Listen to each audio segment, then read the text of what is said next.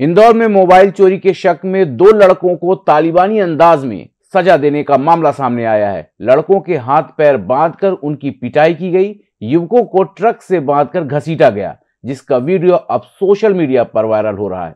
इंदौर के चोइथराम सब्ज़ी मंडी से एक वीडियो वायरल हुआ है, जिसमें मानवता और दरिंदगी की सीमाएँ लागते मंडी के लोग देखे जा सकते हैं। मोबाइल चोरी के शक में दो लड़कों को रस्सी से बांधकर ट्रक से घसीटा गया। इसके साथ ही उनकी बेरहमी से पिटाई भी की गई। वीडियो में साफ़ तौर पर देखा जा सकता है किस तरह लड़कों को बाँध कर घसीटा जा रहा है। खुद को कानून से ऊपर समझने वाले लोग खुद सजा देने पर उतारू हैं। न्याय करने का तालिबानी तरीका सुव्यवस्थित शासन और न्याय व्यवस्था पर करारा तमाचा है। यह माँ अहिल्या की नगरी को शर्मशार कर देने वाली घटना है।